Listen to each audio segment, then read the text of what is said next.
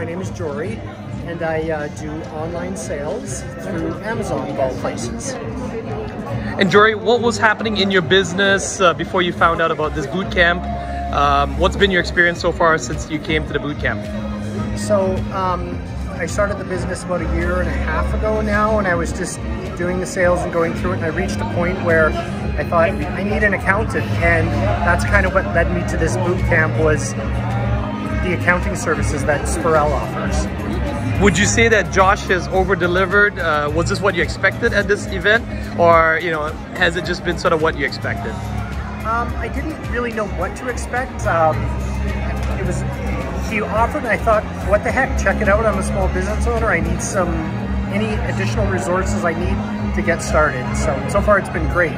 Is there any one particular thing from the event so far that you're going to take away and implement right away? I think it's the organization and the calendar scheduling, blocking out times where I do do something. Right now it's kind of, oh, I'll do this and that. It's more reactionary, whereas I think the calendar and the scheduling will make it much more proactive. Awesome.